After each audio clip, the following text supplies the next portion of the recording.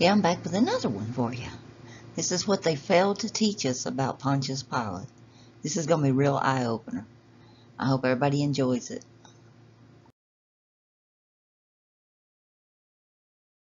Tell you something mind-blowing that I never saw, and I just can't believe that I've gone all these years and didn't see this sooner. I'm, I'm thankful to see it now, and I hope more will see it, but it's very scary that we could be in a religion worshiping and practicing that we don't even understand what is there.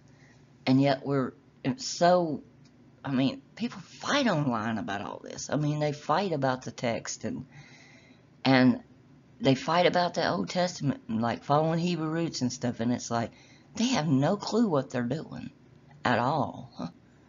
And if you don't believe me, just keep watching my videos. Eventually it will sink in that we've been lied to. But it wasn't Jesus that sat on the judgment seat and was the king of Israel and was anointed. It was Herod and Pilate. Yes, I said Pilate.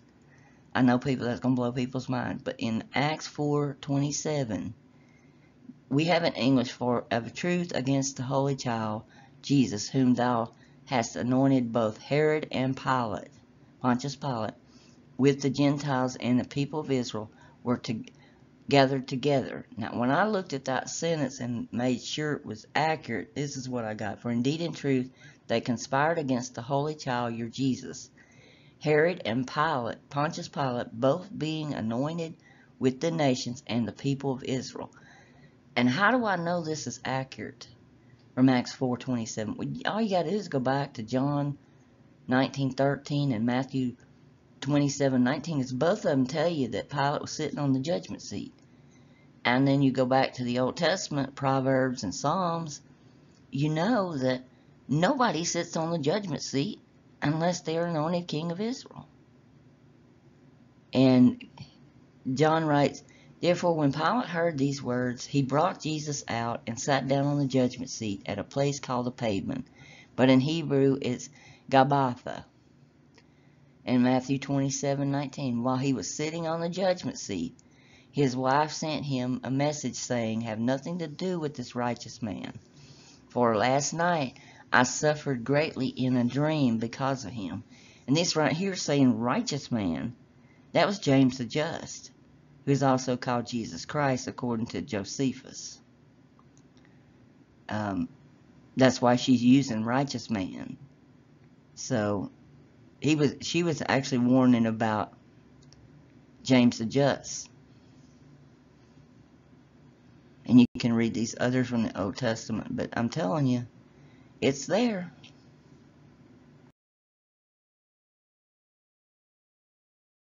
Fragments of parts of, of um, text.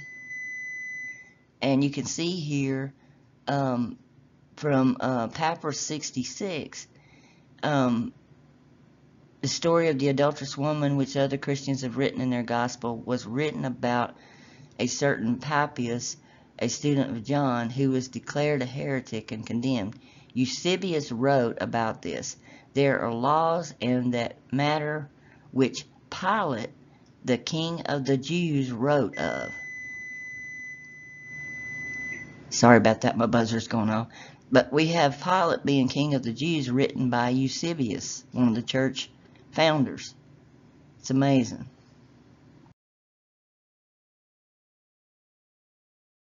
Once we realize this, we can see other things too, like Luke 13:1. There were some present at that very time who told him about the Galileans whose blood Pilate had mingled with their sacrifices.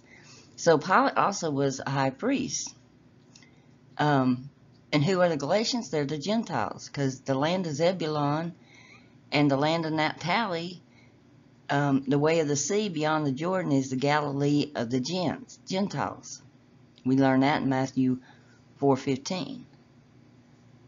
A lot to take in.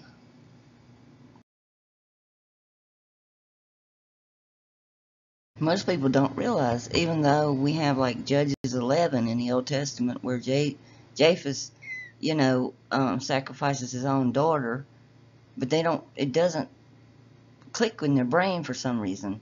But when I was going through and looking at a lot of the Hebrew in the Old Testament, I came to Exodus 12:21, and it says he called Moses to all the elders of Israel, and he said to them, Pull and take out of you or your sheep of the multitude from your families and slaughter the Pishkal lamb. Well, the lamb is actually the word for a crippled or lame person. Now, how do I know that? Okay. All these little neku here, the little accent marks, weren't until the 11th century AD or CE. So they were not present. So these words are identical. One of them is the um, Passover, and one of them is the lame. And it literally meant a lame person, a real person. And you can see that when you, to pass over, when you come down here, to be lame, to limp. It's like they're the same word, people. Human sacrifices all throughout the Old Testament, and people don't even see it.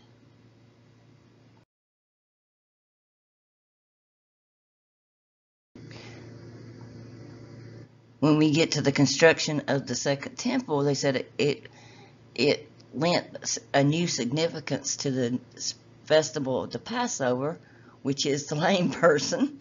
Um, the Talmudic passage from Second Temple period describes the temple ritual on the 14th of Nisan. The description reflects the procedure at the time of the first temple. So this is 115 BC to 70 uh, AD. Okay. The Paschal lamb was slaughtered, or the lame person was slaughtered in three groups. When the first group entered the temple court was filled, the gates of the temple were closed. The uh, Torah and again Tekah were the blown on the shofar. The priest stood in rows, and their hands were in the basins of the silver and basins of gold. And an Israelite slaughtered his offering, and the priest caught the blood. The priest passed the basin to the fellow priest, and he to the fellows receiving a full basin and giving them back an empty one. The priest nearest to the altar tossed the blood against the base of the altar. While the ritual was performed, the Levites sang Hallel. Okay, and that's from the Talmud Pishkim 64a. Okay, so when he Pilate is mixing the uh, blood of the Gentiles in with the his sacrifices, and they're tossing them on the altar, then that's the same thing they did according to the Talmud. There are several biblical references indicating that the procedure was followed in Solomon's temple also. Following the rededication of the temple by King Hezekiah, the priests are described as tossing the blood of the Pishkal lamb or this lame person upon the altar. It's just sick. And nobody even knows it's there. That's what's so scary.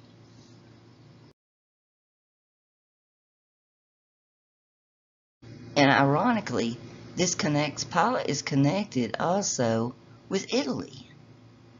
And people don't see that either. Uh, was He was governor of Judea, and Herod was the tetrarch of Galilee, and Philip was tetrarch of uh. Iturea is actually the uh, a big section of Italy right there by Rome. Okay. Uh, the second inscription, which has been lost this is talking about a second Pilate stone. They found a Pilate stone, um, and legend says that Pilate died in exile in Ameria. Ameria is um, in Italy, okay, and they found a stone inscribed to Pilate, just like the other Pilate stone, but it's missing, of course. It's gone, it's lost, they say. But this is the actually this is a photo, and it's like so there was a second Pilate stone in Italy.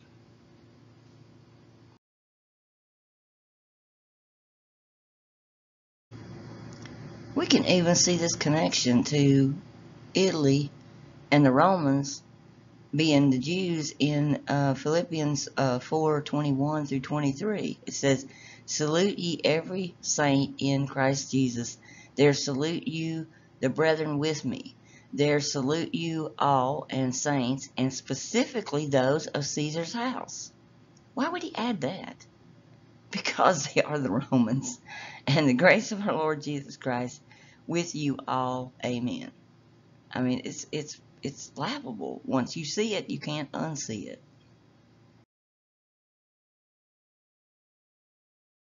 There are two more verses that tell us that the Jews are the Romans. Luke 23 2.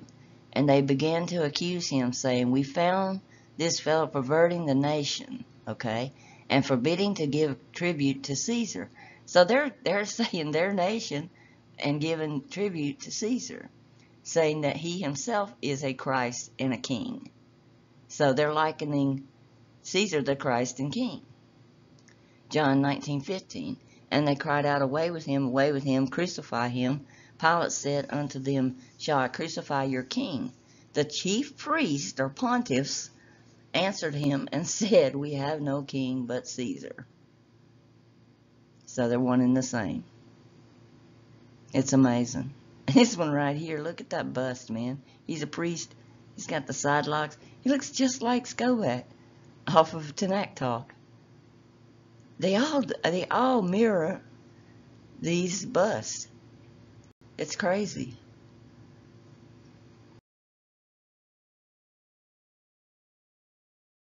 And here we have another verse, Acts 17:5. But the Jews or Judeans, which did, which believed not, moved with envy. This could just be part of them, the Judeans, which believed not, the ones that weren't believing, moved with envy, took unto them certain lewd fellows of the baser sort, gathered a company, and set all the city in an uproar, assaulted the house of Jason, and sought to bring them out to the people. And when they found them not, they threw Jason and certain brethren unto the rulers of the city, and these have turned the world upside down, are come hither also, whom Jason hath received. These do all do contrary to the decrees of Caesar, saying that there is another king, one Jesus.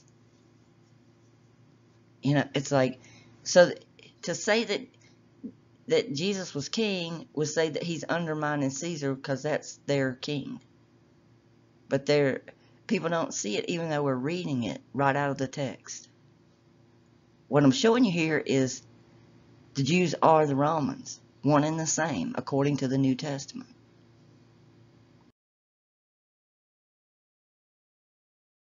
This is something nobody's going to show you. You know, like Adam Green and some of these YouTubers that want to deconstruct that Christ even existed, it's like, you can't. It's everywhere. The proof is everywhere. You're just not looking in the right place. Okay, this is a graffiti of Chrestus in um, that's in the Palace of Tiberia on Palatine Hill in Rome, Italy. Okay, Christus is another word for Christ in Latin. This writing also has the word Pilate on it. Now, what we see here is two crosses, you know, and a crucifixion happening.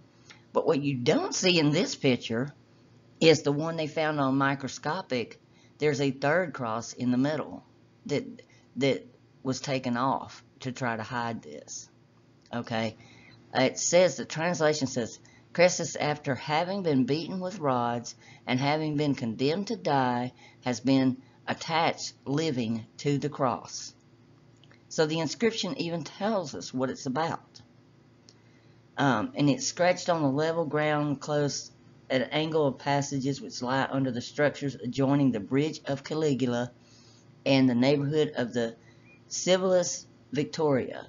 The building is a gallery made by Caligula to connect the palace with the forum.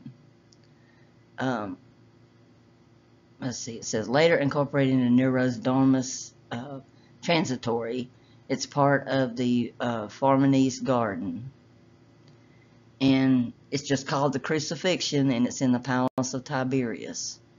So who was in who would did Pilate write his letters to? Tiberius. So who do you think this is about right here? And when do you think it was put on that wall? They're trying to say it was put on there later, but I don't think so. There's no way.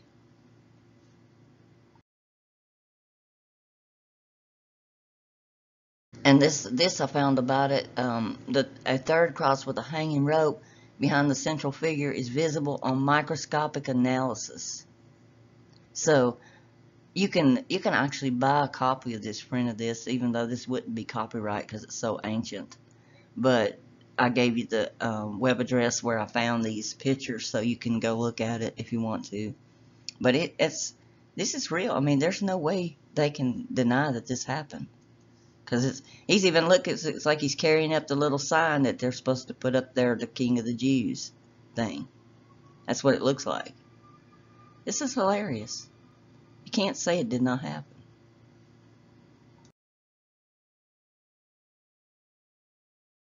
And some people believe because of the crudeness of the picture that it was done by the soldiers who took who were active part of the crucifixion on Calvary.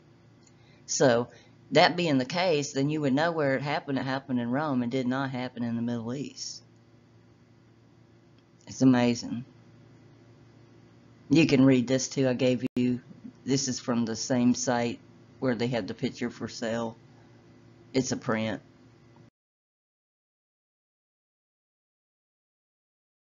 Don't know what people say. Oh, but that was a Jewish, that was a Roman form of, of capital punishment. That was not a Jewish one.